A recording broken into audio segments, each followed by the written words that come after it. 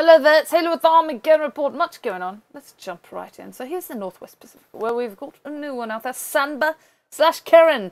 Karen being the Philippines name for this storm. Sanba being basically everybody else's name for this storm. And then we've got two different medium outlooks as issued by the JTWC for these two different invest type areas. And this one is predicted, Sanba predicted to become the equivalent of a Category 3 hurricane. So that would be a fairly massive typhoon at that point. Potential impacts to possibly even Taiwan, depending on how. I was highlighting over the Philippines, talking about Taiwan.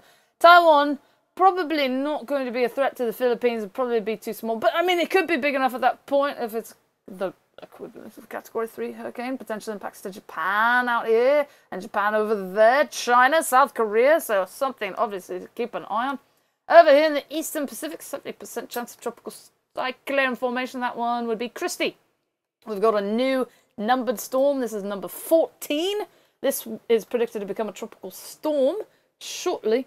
So that one would be Nadine. And then this one also predicted to become a Category 1 hurricane. Now, depending on how it curves, it could become a threat to the Azores Islands or whatnot. Azores, I don't know how to, you know, just I, I think it's Azores Portuguese. I don't know. Anyway, Leslie has become post-tropical at this point, so the this would be the latest or last final advisory is issued by the J- JTWC.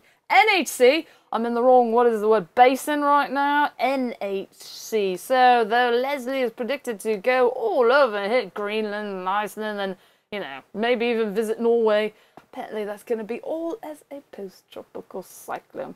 Michael over here is forecast to become a remnant, remnant low later today. Right, that would be Baja Pression. Uh, that sounds French. Right, low pression. that's what you do. It doesn't matter what you say, just put that hard at the end and then it sounds French. That's what's going on tropical storm wise. So yes, Leslie's still threat at the moment, but on the plus side, you know, beginning to taper off and whatnot. Active weather hazards. Half the country is on fire. Or could potentially be on fire. Fuego, right? And here's where the water is too much, uh, what, juvia? That rain, ju- is it raining? Está lloviendo? I don't even know what I'm talking about. Right, and then we've got uh, freeze warning. So it's uh, it's summer type things over here. Red flag warning. That's where the fire weather is favourable. So if the fire gets set, it can spread quite quickly. It could be due to you know drought conditions. There could be low humidity. There could be dry thunderstorms. All sorts of stuff like that. And then it's apparently winter. Right, severe thunderstorm wise, it's still pretty much peachy.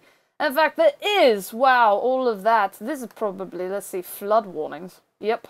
This is all, oh, that's not true. Florida has a severe thunderstorm warning. How about that?